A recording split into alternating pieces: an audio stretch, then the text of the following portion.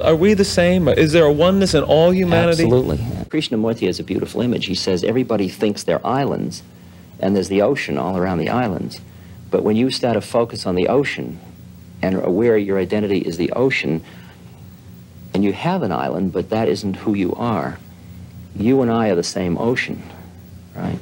But we are busy with different islands. Now, you can either think you're the island or, Or you can think think, that- we're the that you're ocean. the and the ocean. ocean is the awareness that surrounds it all. There's an evolutionary process of consciousness or spirit in which every human being is in some way returning to the one or returning to God or awakening or coming back into being conscious. They get lost in the separateness, in the island, mm-hmm. forgetting the ocean, and then through birth after birth after birth, they keep cleaning up and awakening and awakening until finally they begin to realize they're the ocean and not the island. Essentially, in the life of Christ, then, as Christ. Uh, Christ said, You're not the island, you're the ocean. He says, Look, uh, look, nail me up, I'll show you. It's no big deal. I'll drop it and then I'll come back because that isn't what it's about. And he freed everybody, but nobody would listen.